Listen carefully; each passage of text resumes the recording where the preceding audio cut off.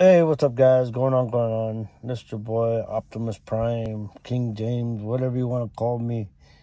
I, anyways, um, this is my Optimus Prime Impala. Um, I've been working with this car for a few weeks now. Um, I have, so I'm getting this all set in. I still got to do a little bit more work into it, but it's looking good. It's matching my steering wheel cover just as much as this carbon fiber here. Um, I know on camera it probably looks different from what my view is. But um, I end up deciding to, to do this. I don't know if I'm going to do this yet. I probably will.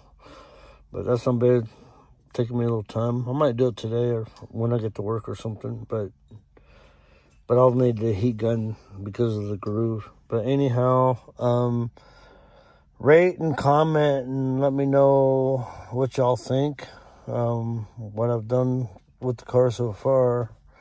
I mean, besides me doing all the carbon fiber on the doors and the uh, dash, um, you can look in my Instagram uh, and my YouTube channel course.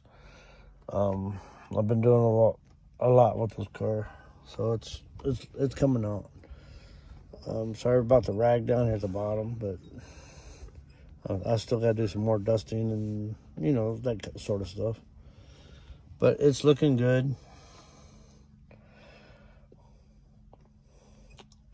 And I also did the back doors. Um, I'm gonna just give you a little peek through this way besides the seat. But yeah. So thank you.